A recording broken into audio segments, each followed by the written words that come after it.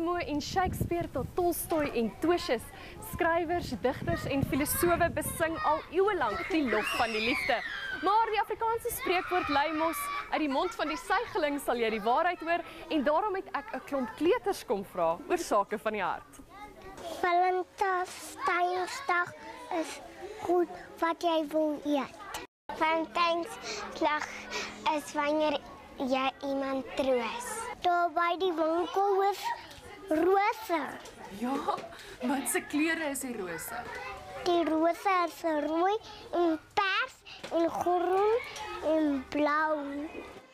Hulle weet ook vir wie hulle die liefste is. My ma. My ma. Verwan. My groot boetie. En die kleinspan reken daar's maniere om vir mamma en pappa liefde te wys. Jy praat mooi met hulle en jy help hulle. Ek dink vir die skool al goed. Ons ja sien hè.